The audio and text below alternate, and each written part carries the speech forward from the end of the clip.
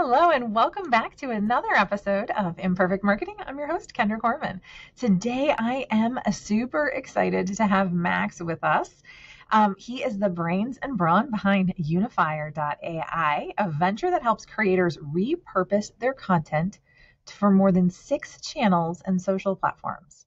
Building with LLMs, large learning models, right, um, is super large language models, right, um, is super fun um, frustrating and enlightening all at the same time. And he's here to talk to us a lot about AI and some of the pros and cons of using it, and some of the benefits, and a little bit of some tips along the way. Welcome. Thanks so much for joining me. Cheers, Kendra. Sounds great. Perfect intro. So, my question for you, let's start with a question that I think a lot of people don't fully understand. What is generative AI? I mean, I would say it's it's very broad, and I will give you a bit more technical answer. But in the end, it's it's large language models. So anything that underlies ChatGPT, Midjourney, and so on, that's usually the umbrella term for all of these language models. And you know, it's kind of in the word. So you know, like you can, you know, take an interaction, use a prompt, put something in that language model and it generates something. And that generation can be obviously anything from text, uh, images, now videos, uh, YouTube script, could be anything really. So that's that's the whole magic. And I even don't know how to explain like a language model from a technical perspective in, in depth, but well, yeah, I struggle with it too because, and I took this like little Google mini course that they had on generative AI and what it is, and it's basically like Predictive AI fills in the blank based upon stuff that it's learned. Generative AI can create what you're describing from your description and create something unique, supposedly, right? Um, maybe in the rewording and things like that, it might be just a little bit different. So, um, so let's talk a little bit about content marketing, right? AI and marketing a lot of people are using it to build content from scratch. I think that there's a huge opportunity here because everybody's creating generic content. And so if you can create stuff that's adding value and makes a difference, you can really differentiate yourself. What are your thoughts about AI and marketing and content marketing? I think I, I, might be a bit biased, obviously, uh, since I'm like building this platform but um, you know, like I, I'm, I'm, I'm very much counterposition to all this. I'm going to Jasper. I go into ChatGPT. I generate a bunch of content that works well. Don't I'm not not saying it doesn't work, but it works very well for fast-moving consumer goods, for like content that is a bit more generic that works for you know like maybe maybe um, argan oil or beauty products or something. Not not saying that these are you know that that these are not good use cases, but I'm more on the side of like, can I also use AI to scale like very very technically dense content, like management consultants, uh, like data science. Um, you know, engineering firms, all of these firms, they all usually sit on a treasure trove of content, but they can't really use AI and I think there's a huge opportunity, and you can obviously, there's a bunch of tools and a bunch of ways you can even use ChatGPT to extract content from there. Yeah, because it's, you know, when you're trying to be a thought leader or you're in a service based business, business to business, and more, I guess, technical, uh, yeah, it's really about creating unique content from your experience and your insights because that's what people are hiring, right? It's not, they're not hiring, you know, yeah, I mean, commercial, just regular consumer goods, right? They're not just buying something that has almost become commoditized. It needs to be bigger. But content takes a lot of time, right? So there's a lot of, again, like you said, management consultants and engineering firms that have all of this information and all of these reports what do you talk about when it comes to repurposing? So I think repurposing obviously has two ultra important components. So in a language models, there's still, let's say they're just based on language and that's their key functionality. obviously it can generate language from scratch, but it could also just take information and transform it. You know, like it's it's the same process, but in this one process, the language model is not necessarily allowed to hallucinate anything additionally. And I think the second episode uh, or like dimension is um, the tone, right? So you know, like ChatGPT and stuff, they, they, they sound very weird, you know, delve into the intricacies of whatever. That was one of my repurposed blog posts. You know, nobody speaks like this. So really finding out how the creator sounds and then keeping the um, AI on the content that's already created and then putting it into different formats. That's what we are trying and we are all about because like I, I create enough content. I had podcasts, webinars, online courses, like nine different recordings. Out of these nine different recordings, you can now create a book with AI. Right? So mm-hmm. lots of opportunity. Well, and I think you know I like what you're saying about it. Yes, delve into opportunity. Yes, I it ChatGPT loves the word delve. I swear. Okay, hmm. um, but I can tell a lot of things that were written with AI.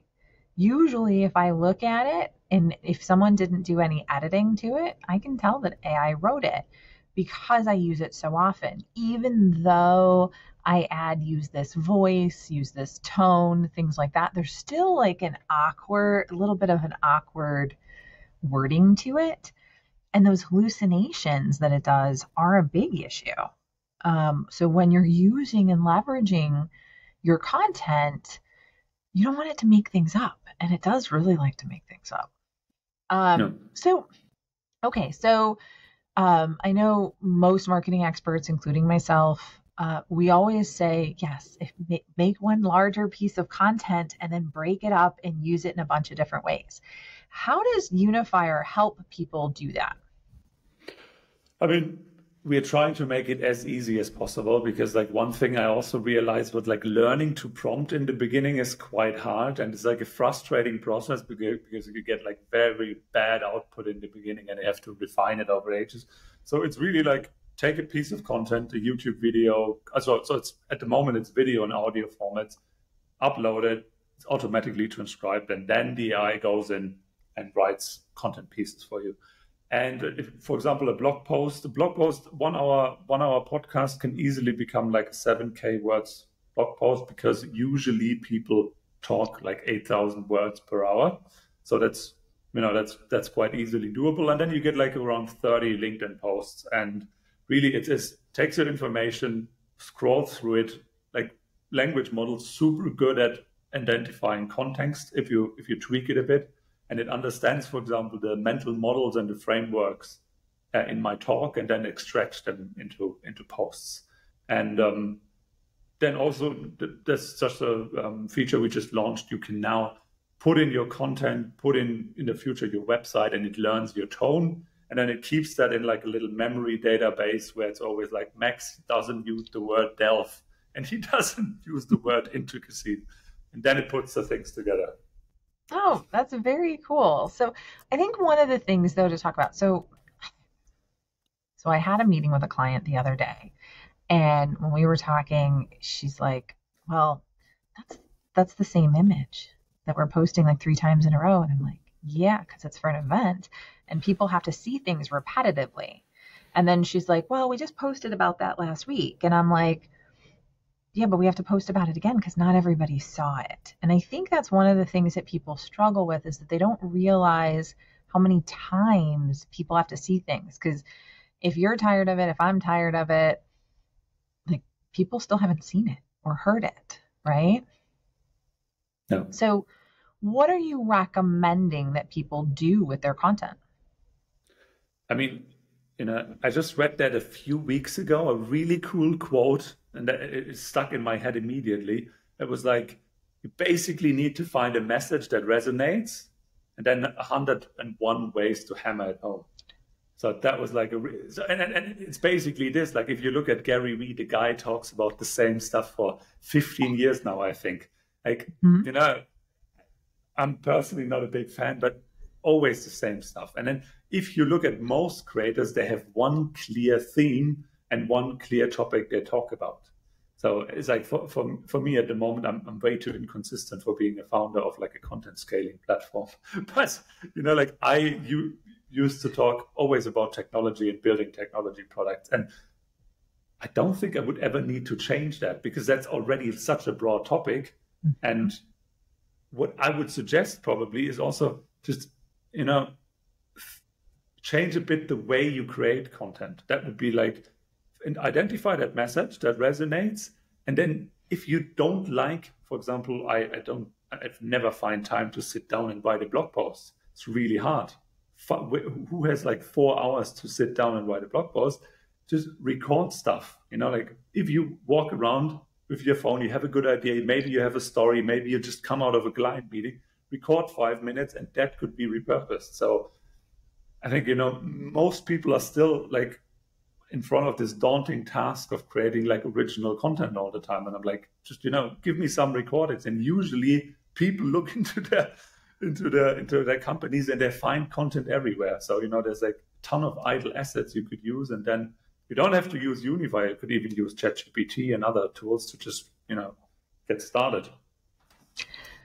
Yeah, I think that that's the key. I think that AI is really helping make things easier when it's used responsibly. What kind of what kind of cautions or things do you tell people related to AI? Or is there are there any limits? Because I know again a lot of engineering firms and um, you know management consulting firms, things like that. A lot of them they run into problems because they're like, oh, well, this is confidential and this is confidential and that's confidential. So they're very nervous about putting things into systems like ChatGPT for good reason. Um, what are your thoughts around some of the cautions related to AI? I mean, you know, it's, I think it's surprising that I have to say it, but it's like, don't upload your financial statements into ChatGPT. Like, there was a lady that said she did that on TikTok. I was like, oh my gosh, no. What are you doing?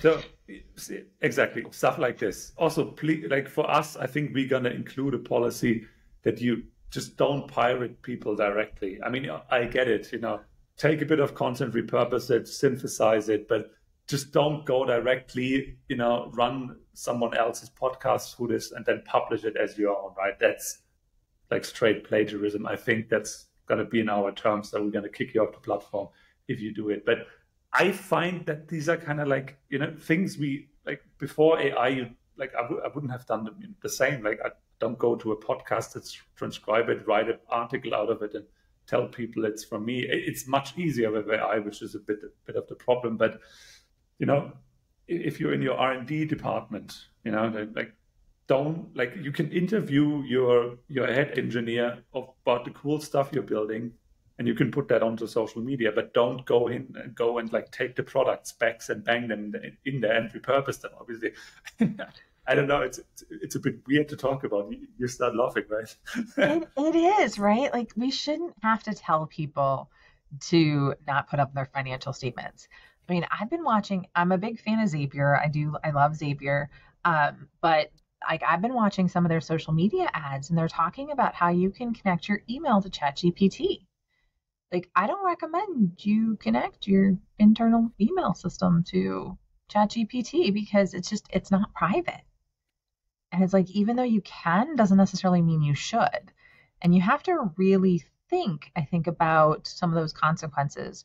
For for my company, um, we won't put we we definitely do not use or try to duplicate or reword competitor information. So we don't put that in there at all.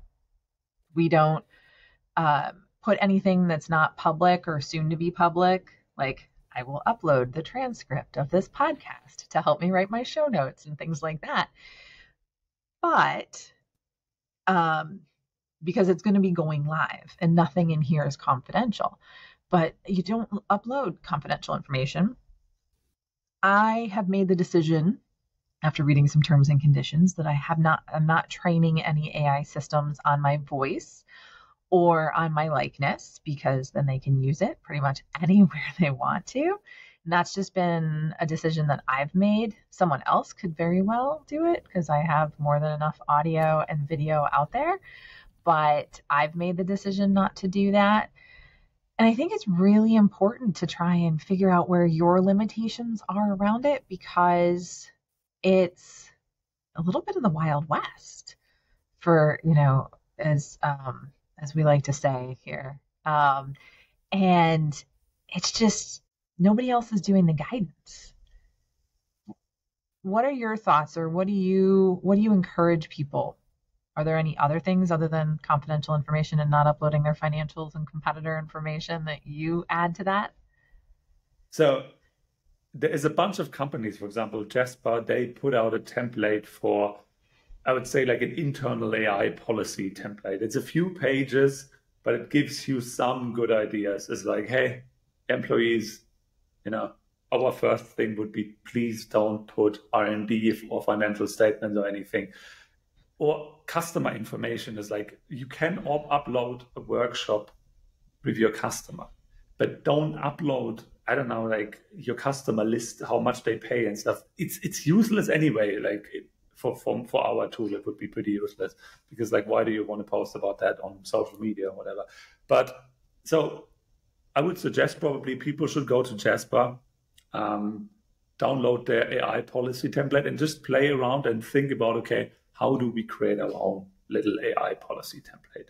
We also we are also working on one that we can just give our clients where we say like, look, plagiarism is a no go, private information is a no go, customer information is a no go, and then just you know also let the employees think about what kind of what do they want what like is it okay for them to to be there for content creation is it okay if they've been interviewed and stuff so it's a lot of about like the old data privacy stuff, a bit enhanced for AI, I would say. So, so let's talk about where this is. Um, I think you said chatbots aren't going to break through. What do you mean? Yeah. So I think chatbots are not the ideal interface because it's it's like it, for for example, for some of my things, like I'm doing a partner program at the moment, and I have a ton of stuff to do, like a lead magnet, a PDF that explains what kind of new services, like an AI um, uh, content marketing agency, can offer with us, Unifire combined. It's like it takes a lot of time and it takes a lot of steps, and that's kind of like a bit of the problem. So with with a conversational interface, you will always need to go back and forth and of course, the, the language models understand you better and better, but it's still a very tedious process. So what we are doing, for example, is like we like we, we're adding additional steps for the user. So here's the outline of your blog post. Do you want to generate that? Um, Typeface's that enterprise AI content marketing solution. They're also they're doing something I would say it's called guided prompting. So it is an interface with forms and buttons where you can click and customize a few things, but you don't have to write a prompt. So really, I think a chatbot is too complicated and it, it, it takes the work and puts it onto the user. And that's usually not what you want with interfaces if you think about the success of the iPhone, for example. Yeah, that makes perfect sense because it, you know, sometimes I'll say, okay, write three social posts about this podcast episode and then it'll give me like three one sentence things. But then I'm like, okay, write one LinkedIn post for this podcast episode based on the transcript. And then I'll say, okay, then write another one. And then it actually gives me good content. But it, yeah, it does. It, the prompt engineering and the manipulation that you have to do, I think to get good quality content, there's a lot of back and forth, a lot of reading, a lot of editing a lot of that going on. So that makes sense. So, um, okay. So, so a lot of people again struggle with repurposing because I think that they feel it's old, right? They released it already. People know about it, even though we know that that's not fully true. Why would repurposing be better than just making up additional stuff? I mean, you know, making up additional stuff is really hard. You know, what I find really painful, for example, is just sitting there and then you have always this pressure on social media to be original again. And it's not only this, but it's also like, what kind of creator template do I use? Then I need to be good at hooks writing, for example. And so what we are doing, and we are develop, developing more and more is just we just we take your content and we search your content and maybe in your webinar you told a personal story.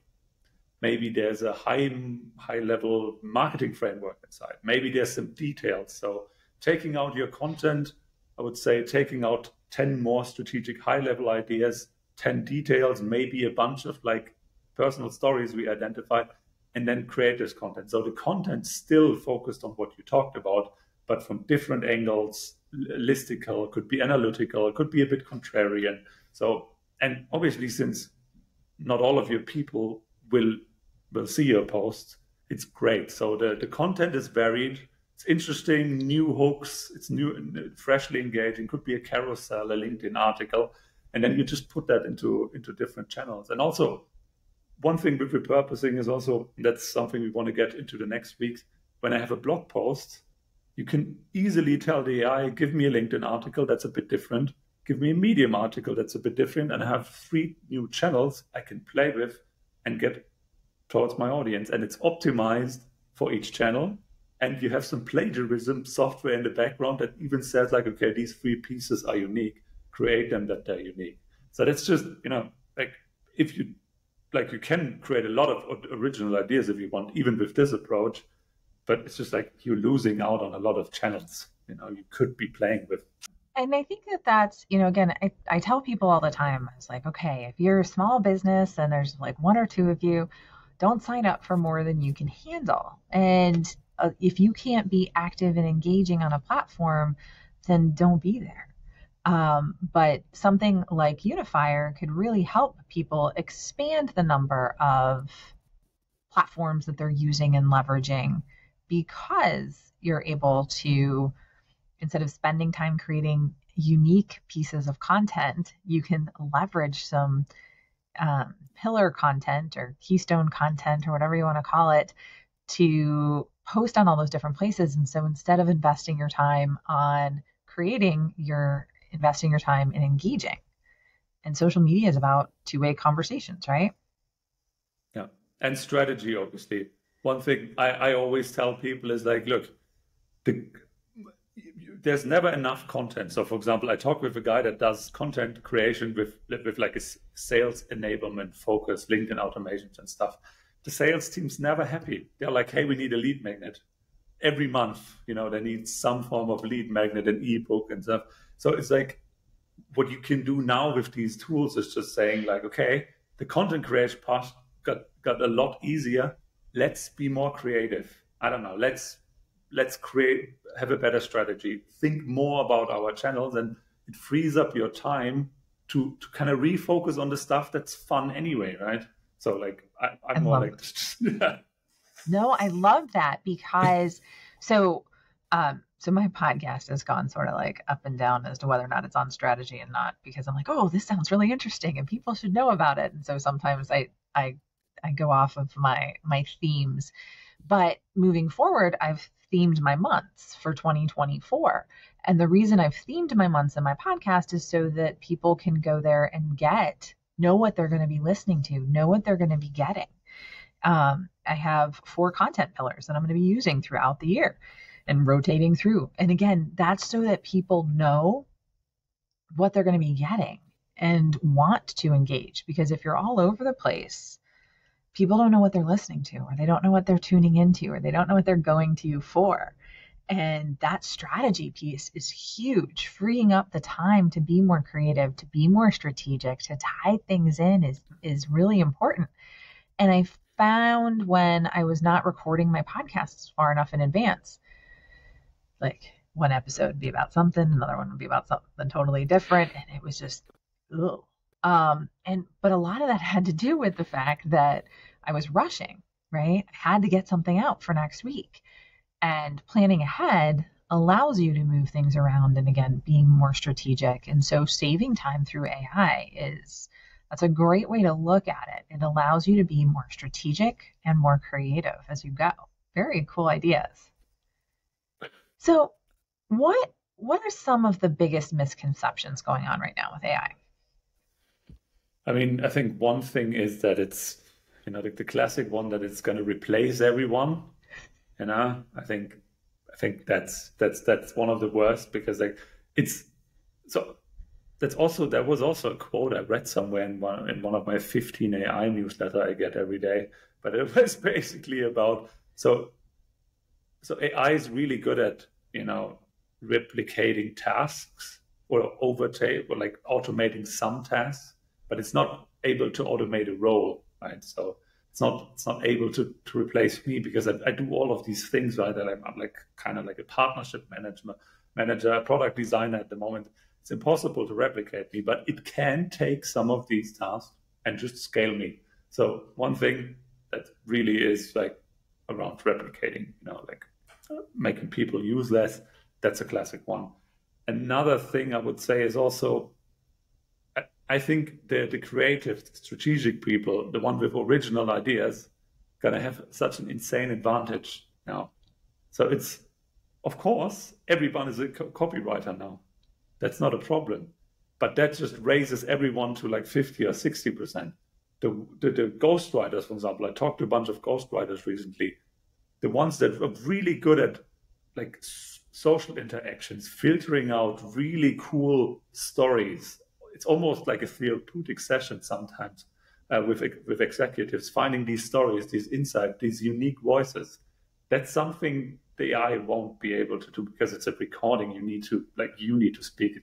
The AI won't do it. So the the upper five to ten percent that are really good at their craft, they're just gonna 10x their income. And I think you know if you're in the lower bottom, yeah, it's easy that you could be replaced or at least you know some form of your content uh, work uh, automated away.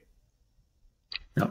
I, yeah, and I think I think that that's a really good point. No, it's not going to replace everybody. The people that are really good at what they do have a great opportunity to differentiate themselves because everybody's at the same level otherwise, right? All that content that's just being generated by ChatGPT or Claude or Midjourney, think it's it's the same, right? And the people that are creating and creating it in unique ways, I think really have a great opportunity. I've been telling people about copywriters. I was like, like, oh, copywriters, there's not going to be a job for them. I'm like, well, maybe long term.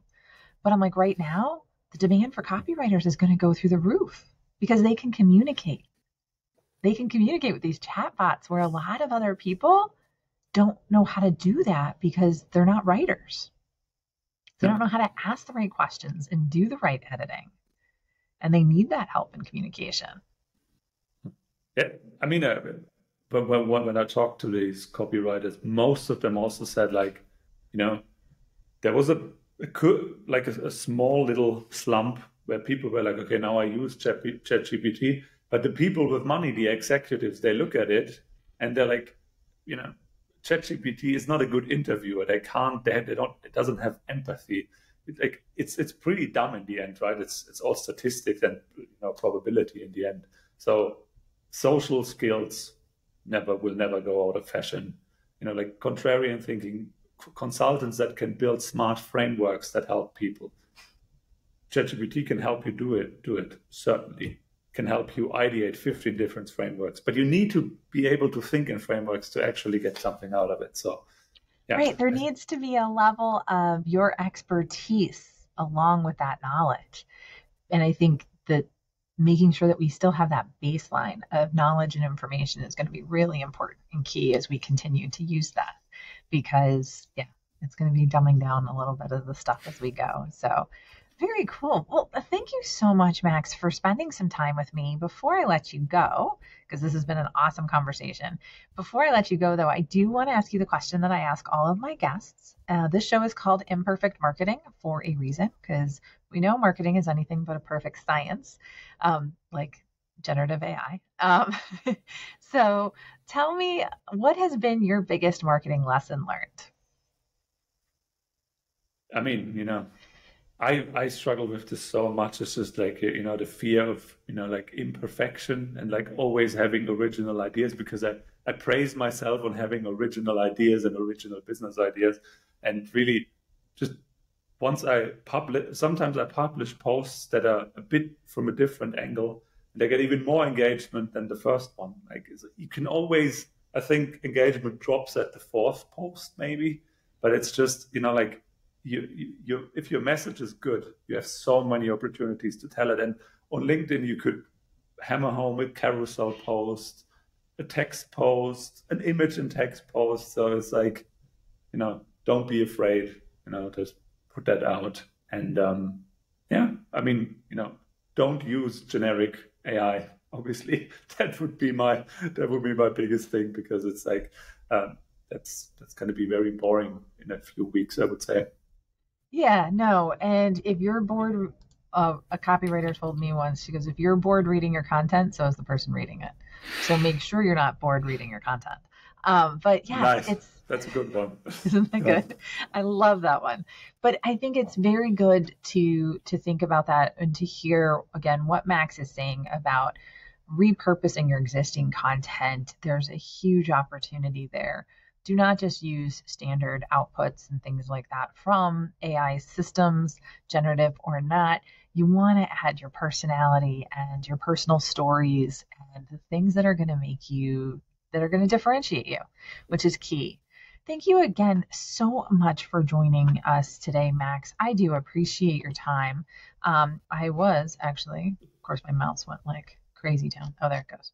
Um, I do. Um, we are going to have a way to connect with Max on LinkedIn, of course, uh, in the show notes. We'll also have a link to Unifire.ai so that you can check that out too. I encourage you to do that because there's just a lot of opportunity in the AI space right now and looking at people that have some really good ideas and how they're leveraging it and how they're making it easier for all of us to leverage it and save time, become more strategic and more creative is definitely key.